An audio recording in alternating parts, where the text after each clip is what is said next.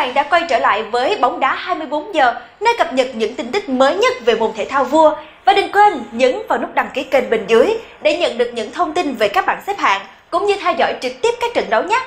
Và bây giờ xin mời quý khán giả cùng đến với những thông tin chi tiết. Tiết lộ hai cái tên sẽ bị loại khỏi đội tuyển Việt Nam trận gặp các tiểu vương quốc Ả Rập Thống Nhất. Vào ngày mai 13 tháng 11, huấn luyện viên Park Hang-seo sẽ công bố danh sách đăng ký 23 cầu thủ cho trận đấu với các tiểu vương quốc Ả Rập Thống Nhất. Vậy đâu sẽ là hai cái tên nhiều khả năng phải ngồi ngoài? Huấn luyện viên Park Hang-seo đã công bố danh sách rút gọn 25 cầu thủ chuẩn bị cho hai trận đấu với các tiểu vương quốc Ả Rập Thống Nhất và Thái Lan.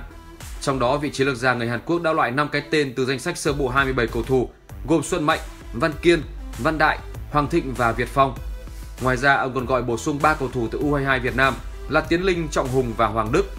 Theo điều lệ giải, ông thầy 60 tuổi sẽ phải loại thêm hai cầu thủ nữa để hoàn tất danh sách đăng ký 23 gương mặt tham dự cuộc chạm trán với đội tuyển các tiểu vương quốc Ả Rập thống nhất. Trong phạm vi bài viết này, chúng ta hãy cùng đưa ra những nhận định về hai cái tên có khả năng cao sẽ phải ngồi ngoài trong trận đấu tới đây. Đầu tiên, tân binh Lê Văn Đại có thể sẽ bị gạch tên khi mà nhân sự ở vị trí trung vệ đang rất chật trội. Hiện tại ngoài cầu thủ của câu lạc bộ Thanh Hóa, có đến 5 cái tên chất lượng khác đó là Quế Ngọc Hải, Bùi Tiến Dũng, Đỗ Duy Mạnh, Nguyễn Hữu Tuấn và Nguyễn Thành Trung. Đây là năm cái tên luôn góp mặt trong các trận đấu đã qua của đội tuyển Việt Nam tại vòng loại World Cup 2022. Trong đó bộ ba Ngọc Hải, Tiến Dũng, Duy Mạnh là bộ khung nòng cốt của đội tuyển.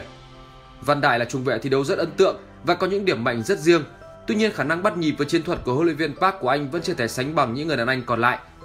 Cái tên thứ hai nhiều khả năng sẽ là Nguyễn Trọng Hùng, cầu thủ được bổ sung từ U22 Việt Nam.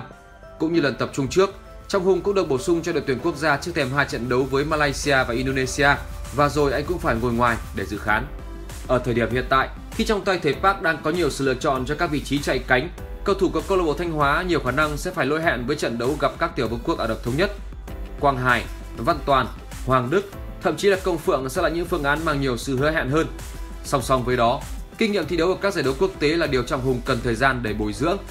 Sau gần 2 năm huấn luyện viên Park Hang-seo gắn bó cùng các đội tuyển quốc gia Việt Nam, người hâm mộ không còn quá xa lạ với những cái tên đã nằm trong quy hoạch và bộ khung chính. Và ở trận đấu với đội hạt giống số 1 của bảng G là đội tuyển các tiểu vương quốc Ả Rập thống nhất, thầy Park sẽ tiếp tục sử dụng họ và vận hành bộ máy vốn đã hoạt động trơn tru suốt thời gian qua. Cảm ơn quý vị và các bạn đã quan tâm theo dõi video của chúng tôi ngày hôm nay. Hãy chia sẻ ý kiến cá nhân của mình ở phần bình luận bên dưới video. Và đừng quên nhấn like và chia sẻ video để người thân và bạn bè cùng sống trong nhịp đập của một thể thao hấp dẫn nhất hành tinh. Và nhớ nhấn vào nút đăng ký để ủng hộ bóng đá 24 giờ nhé. Xin chào và hẹn gặp lại!